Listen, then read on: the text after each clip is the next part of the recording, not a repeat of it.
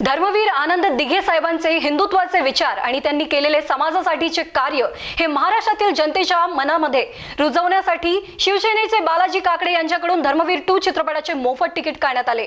लातूरमधील शिवसैनिकांना मोफत चित्रपट पाहण्यासाठी एकोणतीस सप्टेंबर रोजी पीव्हीआर टॉकीज लातूर येथे दाखवण्यात आला आणि यावेळी चित्रपट पाहण्यासाठी लातूर जिल्ह्यातील हजारो शिवसैनिकांची गर्दी झाली होती.